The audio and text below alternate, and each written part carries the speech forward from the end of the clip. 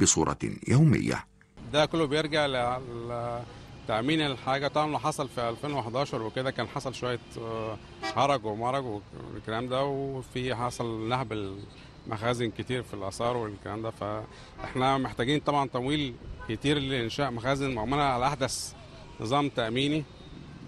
ده بيكلف كتير وحاليا طبعا السياحة من قبل 2011 ابتدت في انخفاض نتيجة لانهيار الاقتصاد العالمي عامة. طبعا من 2011 طبعا حتى الآن ال- حضرتك شايف الدنيا عاملة إزاي ف ده كله مؤثر على الدخل لأن الآثار مرتبط دخلها بالدخل السياحي أو بالسياحة بشكل كبير جدا يعني. ورغم الجهود الأمنية والأهلية والمحاولات الحكومية لاستعادة ما يتم عرضه في الخارج من آثار مسروقة إلا أن نزيف السرقة لا زال مستمر. بالنسبة للسرقة ده طبعا عمل إجرامي المفروض الآثار دي ملك الشعب المصري كله. ملك مش مش الشعب المصري كله ده ملك العالم كله. لأن ده الآثار دي في الحقيقة إن هي ملك العالم كله من حق العالم كله إن هو يحتفظ بيها ويشوفها. بالنسبة لسيرة الآثار في مصر هي اولا الطرف المستفيد من سيرة الآثار في مصر أكيد مش المصريين. تبقى في جهات بره مستفيدة من الموضوع دوت بتمارس ضغط على المصريين بالآثار بتاعتهم. وعشان تخ... تضر البلد باقتصادها عن طريق إنها تجذب السياح بدل ما يجوا يتفرجوا على الأثار في مصر يروحوا يتفرجوا عليها في المتاحف بتاعتهم. دي حاجة. تاني حاجة في مخطوطات زي مثلا ما اكتشف في الآخر إن في مخطوطات بتدل على موقع مناجم ذهب موجودة في مصر بس المخطوطات ديت موجودة في أماكن بره.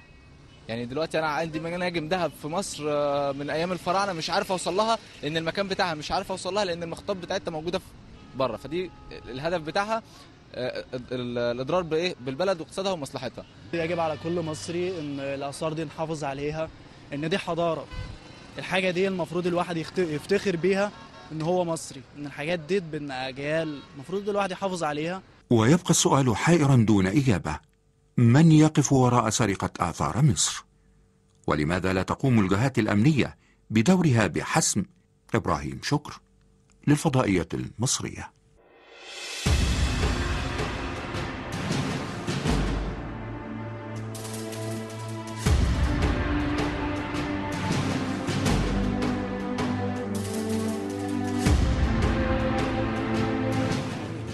بنقول هندسه أقصد جون آه، رجعنا لكم مشاهدينا مرة تانية. آه، واسمحوا لي آه، أرحب بضيوفي النهاردة. واكتشاف يمكن هنعرفه من صاحبه النهاردة مستر لاز جالمر هو مهندس أيرلندي. ويلكم Egypt and uh, شكراً.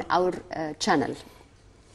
آه، أيضا كمان معايا المهندس عمر محمد هو مهندس مصري ومقيم في لندن. مساء الخير يا مستر طيب إحنا أكيد عايزين نوضح للسادة المشاهدين وبشكل سريع وبشكل مبسط آه، آه، الفكرة اللي قامت عليها أو الاكتشاف اللي قام آه، عليه مستر لاز لاز صح؟ لاز يعني we يعني can you tell us with more information about the In English, of course. In English, okay. Yes. yes. Well, um, I uh, I've probably been working on this for um, ten or twelve years. Um, 12 I years? actually uh, discovered the uh, the twelve uh, root five rectangle within the King's Chamber in 2002. I actually, and I used that uh, those in a design I was working on at the time. And I always knew there had to be something in the pyramid, which um, which is 4,600 years old, that sort of keeps bringing people back with because of its intrigue that it has on people all around the world. So. I was investigating the design for the last 10 years and have um, discovered the, the, the actual design parameters that the Great Pyramid is designed to. طيب يعني إحنا أمام نظريات آه، رياضية آه، أو خلينا نتكلم على الأساس الهندسي اللي أقيم عليه آه، بناء الأهرامات. ده الكلام اللي قاله مستر لاز اشتغل عليه بقاله حوالي دلوقتي تقريبا 12 آه، 12 سنة. مظبوط. هيغير ده؟ هيغير في شيء يعني في في في المنظومة نفسها؟ إيه اللي هنستفيد منه؟ سؤال كويس جدا. أتصور إن هو يعني ليه مستويين بالظبط. في. في. في الفايدة الأولانية لو حضرتك شفتي إن دوت فعلا أو يعني ناس اقتنعت إن دوت فعلا الأساس الرياضي للتصميم بتاع بتاع الهرم بدون مبالغة ده في إعادة إعادة كتابه للتاريخ المعرفة الرياضية. لأن هو حضرتك تشوفي إن دوت يعني المهد آه، علم الرياضيات ال- بال patterns الموجودة فيه. ال patterns الموجودة هي الحاكمة غرفة الدفن اللي جوه الهرم والنسب الهرم اللي إحنا كلنا شايفينها ونقدر نحسبها. اللي بنتكلم عنه هنا هو الأساس الرياضي اللي بيوصل للبناء الهندسي البديع اللي موجود دوت. فعلى المستوى الأول حضرتك ممكن تكوني بتتكلمي عن مردوده. عليه. بالظبط آه، كده. بالظبط. في الأول أنا بتكلم عن ناحية المعرفة عموما. ال- جزء كبير من ال- الماثيمات الرياضيات اللي موجودة يعني متضمنة جوه التصميم دوت إحنا بننسب الفضل ليها مثلا للإغريق. ال- ال- الإغريق لما بنتكلم عن الرياضيات إحنا بنتكلم عن ناس جم بعد الهرم ما اتبنى بحوالي 2000 سنة أو أكتر. 2000 سنة مش 20 ولا 30 سنة. آم، بالتأكيد دوت بي بيسلط ضوء على جانب ما هواش معروف قوي من الحضارة المصرية القديمة. يعني في عندنا ال... كل الآثار الموجودة لكن ما, ما نعرفش كتير عن ال... ما فيش برديات مثلا بتقول والله ال... آه الحساب الحساب كان إزاي؟ آه الحساب أو النسب. آم، وهنا بيتكلم أكتر عن النسب حتى من يعني ممكن يكون أي مقياس لكن نسبة ده لده لده لده. ده بيسلط ضوء عن علوم ومعرفة كانت موجودة في الحضارة المصرية القديمة وبالتالي يعني يزيدها ثراء. الإضافة دي تصور بالمنطق إنها تكون لها مردود إيجابي من ناحية الاهتمام بالحضارة المصرية القديمة. آم، هي يعني شيء رائع وفي ناس كتيرة جدا في الدنيا مع الأسف إحنا يمكن ما م- مهتمة- بنتعلمش. مهتمة. أوف، ب- مم. جدا جدا جدا. ده هيزود دوت آم، برضو بالمنطق إن دوت في الغالب إن شاء الله هيكون له مردود إيجابي بسبب اهتمام الناس. الناس أكتر هتبقى عايزة تيجي تشوف آه، الموجود دوت. الحقيقة في شيء رائع تاني في ال في الباترن الهندسي اللي موجود في في التصميم. و أنا شخصيا بشوف إنه ممكن يكون له مردود إيجابي في زي إحساس الناس بالرياضيات عموما. الرياضيات دايما عند معظم الناس شيء صعب وزي ما يكون عندهم كده منتال وحاجة يعني صلبة جافة جدا. مظبوط. ده بيقربها. يعني ممكن الواحد يحسها لما يشوفها قدامه بس مش ب- مستر لاز Yes. you are, you are an engineer Yes. and a And an painter artist, yes, ah, I a do. painter ah. what's the relationship with What is the relationship between the engineering and the art? Yes. Um, I guess the geometry, actually. Um, Ah, yes, Handas. yeah. Well, what I noticed actually of late, in fact, with- just in the last 12 months, is that most of my paintings, and I do oil on canvas or I, I use an airbrush with, acryl- with acrylic, um, is that really 99% of it is all inspired by the Great Pyramid and the and the geometry that's in here. It is mm. absolutely amazing.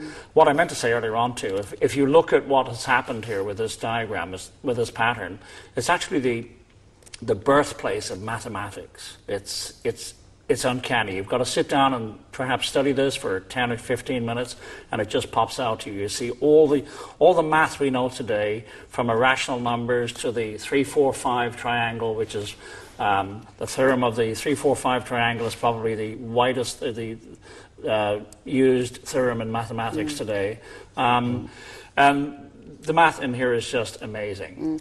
يعني يمكن سؤالي كان ل- لمستر لاز هي فكره انه آه، هو آه، مهندس وفي نفس الوقت هو آه، آه، رسام. فايه العلاقة اللي ما بينه ده وما بين آه، الرسم ويساعده إزاي؟ وفي نفس الوقت على ال- ال- ال- اللي إحنا شايفينه قدامنا. يمكن هو استوحى ده كله وشايف إنه الجيومتري. الهندسة هو اللي اللي بيقرب ده بده. وفي نفس الوقت هو آه، آه، يعني ساعدته ساعدته كرسام في آه، آه، يعني أنا كمان أثرت عليه. أنا فاكر أثرت عليه بشكل كبير. قابلنا في في الأول كان بيورينا عنده معرض آه، رسم. فعلا معظم اللوحات فيها ال patterns الهندسية. آه، مش بالظبط اللي موجوده لكن متأثرة جدا يعني آه، آه، كمان هو بيتكلم على الرياضيات يعني mathematics فكل ده يعني في نوع من أنواع الارتباط رغم إن إحنا بنتكلم على حاجات مجالين إحنا يبدو إحنا بنشوفها مختلفين. يبدو إنهم مختلفين تماما.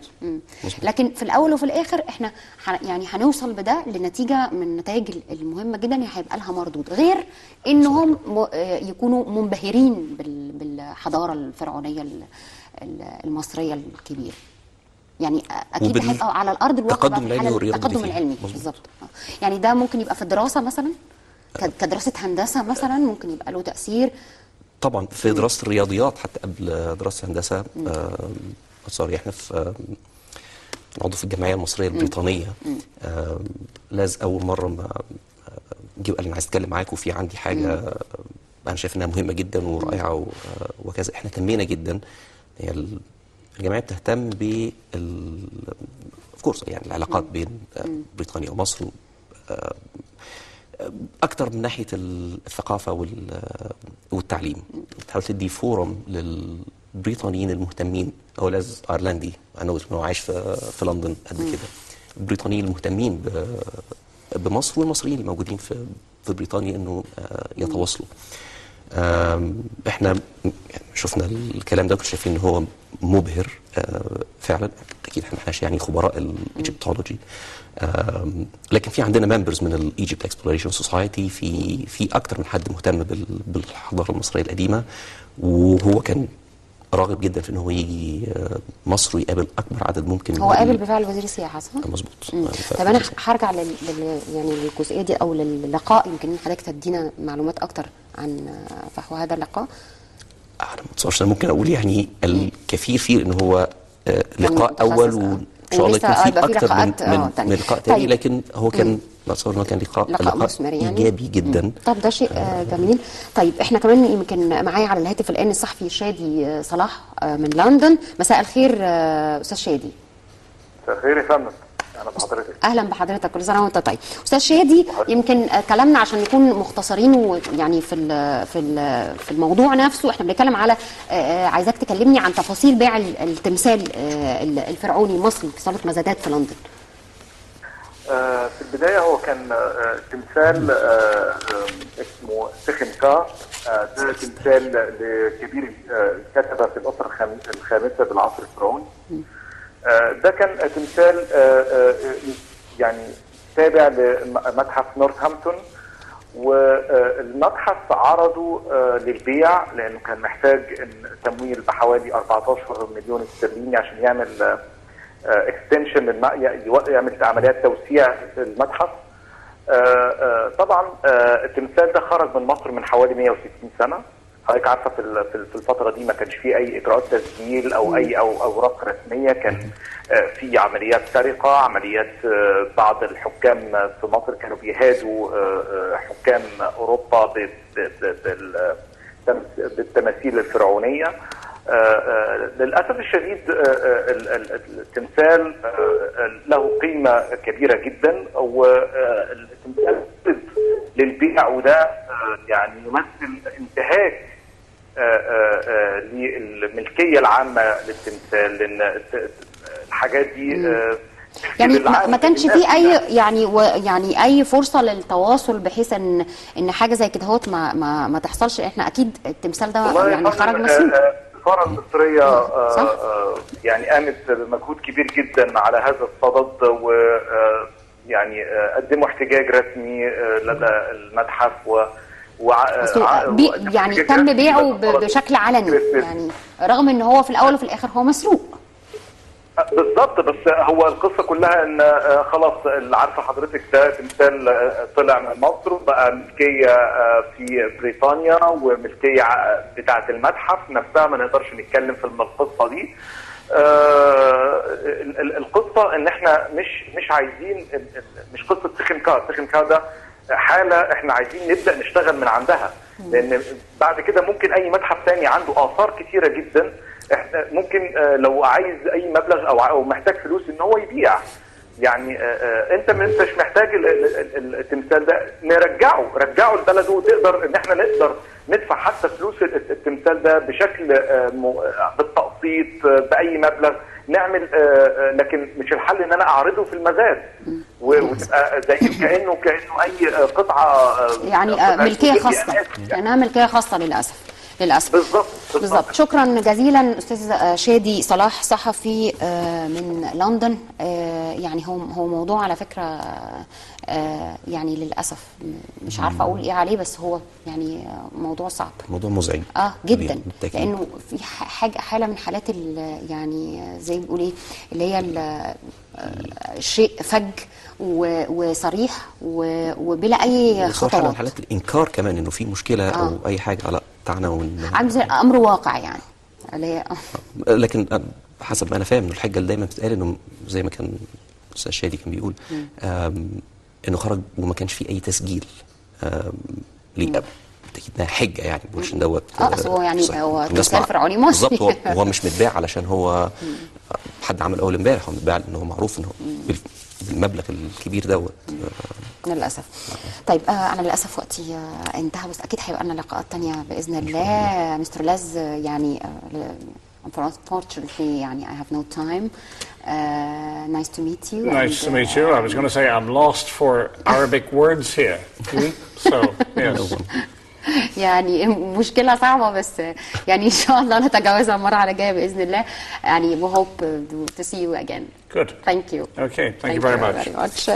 شكرا جزيلا مستر لاز ومهندس إيرلندي وشكرا جزيلا مهندس عمر محمد المهندس المصري المقيم في لندن شكرا جزيلا ميرسي. شكرا جزيلا مشاهدينا واشوفكم إن شاء الله آه، في حلقة قادمة بإذن الله مباشر من مصر